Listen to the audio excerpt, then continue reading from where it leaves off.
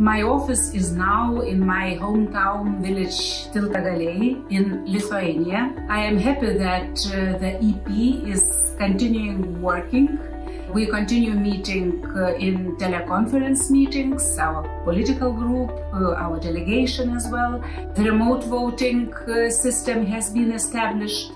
However, I am looking forward to the live meeting very much. I can take care of my mother from home. Also, one is very satisfied I am here, my cat Princess. My priority is to educate people about the actions uh, being taken by the EU and to counter the spread by Russia and China disinformation.